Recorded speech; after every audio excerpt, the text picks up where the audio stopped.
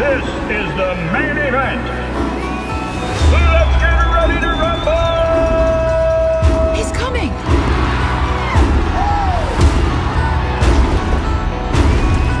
Whoa! Come get some of this. Uh-huh. Hey, who wants a selfie? Tentacular! I've got your whole life story tattooed on my body! Yeah. In a long history of monster wrestling, there has never been a champion quite like Tentacular. Fans around the world are asking, is there a challenger out there with the hunger, the drive, the discipline to become the next champion? What? All right, I think that's enough for today.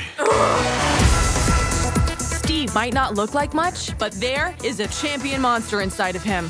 Did he eat one? Thank you. That felt great.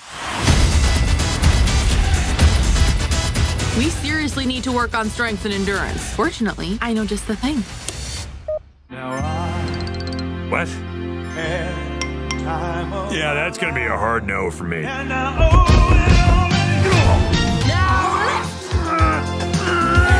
Oh! Do it again!